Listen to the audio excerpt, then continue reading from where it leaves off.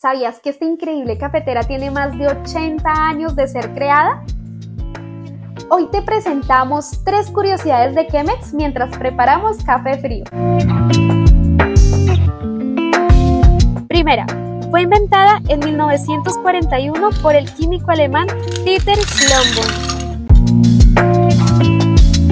Segundo, fue seleccionada por el Instituto de Tecnología de Illinois como uno de los 100 productos mejor diseñados en la actualidad.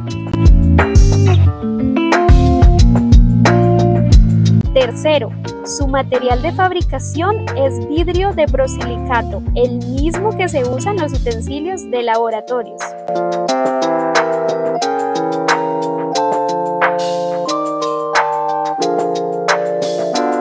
Y como bonus te traigo lo siguiente.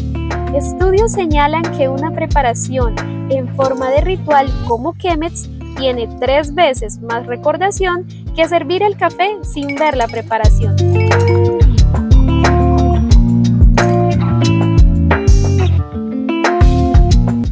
Anímate a preparar un café frío en tu Chemex y cuéntame en los comentarios qué tal te pareció. Este quedó buenísimo.